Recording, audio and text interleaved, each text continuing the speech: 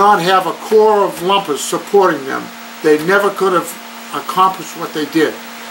Unlike today, like today's fishing, the crew that goes fishing, they come back, they offload their own fish. When those guys are done putting uh, 300,000, 200,000 pounds of redfish aboard, and they get back to the dock, they, they step off of the boat and the lumpers would take care of that, right? Yes, you must remember that a vessel like the Benjamin C coming back after a 10-day trip, the only thing in their minds was to get ashore and have two days off because they landed the fish on Monday and they were bound on Wednesday afternoon after 2 o'clock union rules for another 10-day trip. Think about it. Think about it. 26 trips a year, 10 days, 260 days. You had more time in the forecastle of the Benjamin C or any one of those vessels than you did at home watching your own kids. So ask yourself this question. Who in today's world would even consider doing that kind of work? It's never going to happen again. It's an era that's gone.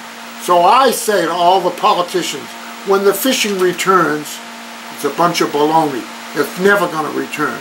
To know it as we knew it 50 years ago, 60 years ago, it's all gone. It's changed. It's changed. It's not gone. It's just like anything it else. has to. It had to be consolidated. They couldn't fish at that rate No. and sustain it. We started out in 1945 after the end of World War II. Think about this. Ipswich Bay was full of whiting. Full, absolutely full of whiting. To uh, Cashes, tobins, all the all the the fishing grounds close to Cape Ann were literally filled with redfish. It was an undiscovered resource. The Portuguese fishermen caught redfish on the trawls in 1938. They didn't even know what they were. They invented the filleting method, how to process redfish. They took that fish home and made chowders out of it and fried it at home. The Portuguese were the pioneers for red fishing. Okay? There was an undiscovered, undiscovered body of fish there because they were fishing with trawls and jigging and netting and so forth. And the redfish were there all the time in large bodies from Cape Ann all the way to Newfoundland. And it's that resource that we, that at the end of 1945 when our fleet, there were, there were periods in, there were periods in those years where vessels were being introduced to the fleet on a weekly basis. The Whiting Wharf, Fisherman's Wharf, where we have two or three boats tied up. It makes me tired when I look at it. I almost cry. We had 50 vessels in the Whiting Association, in the Gloucester Whiting Association in 1951, when Ray Kershaw, Kershaw was employed as the business manager. He ran that organization. The men were too busy buying, buying, uh, catching fish. He was the one that was buying the engines and the nets on a, on a, on a, on a volume basis. He ran that show down there. There were 50 boats that participated in, and these were day boats that fished in the Ipswich Bay. Okay, we were landing, we were welcoming new boats. What was an average like for Gloucester total fish landings back in say 50, in the 50s? Uh, uh, how many pounds of fish came into this port on a, on a, on, a, on an average day? Would you say? Uh, that's hard to say, but I will say that we, uh, in the summertime, in many days in the summertime, it was an ordinary average day when a million pounds of fish were landed. Easy to do. Three or four boats landing 200,000 pounds of fish. And that was in the daytime.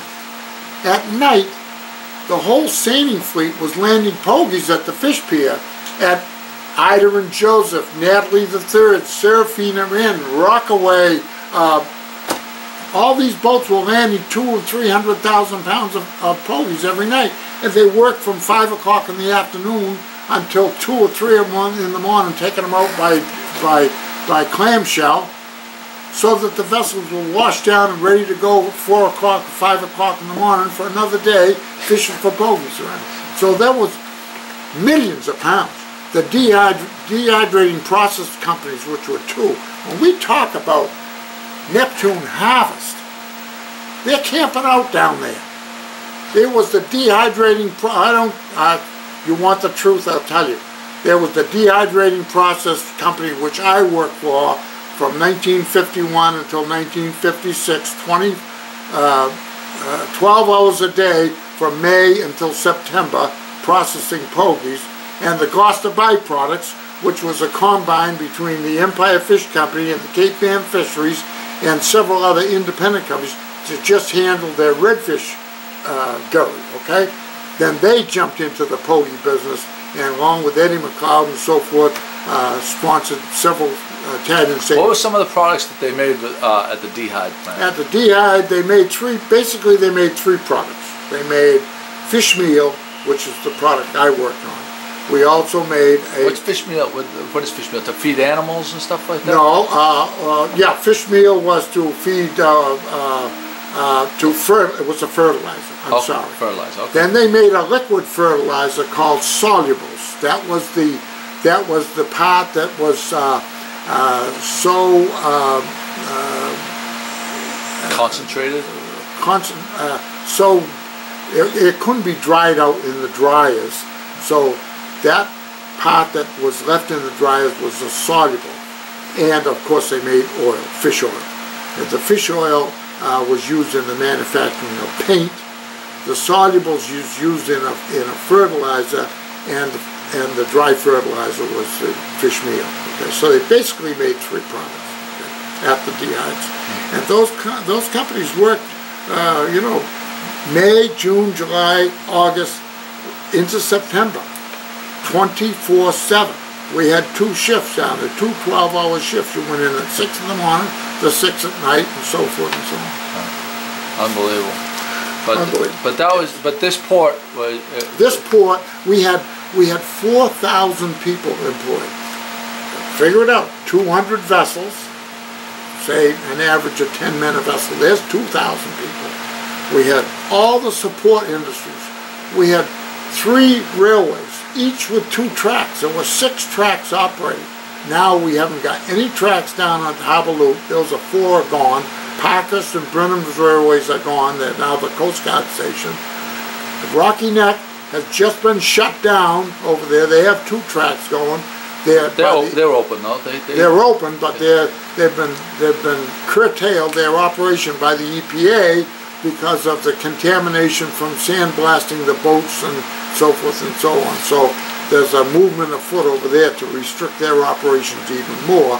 I understand as of last Thursday, I heard Oh, this. I didn't know that. So Okay.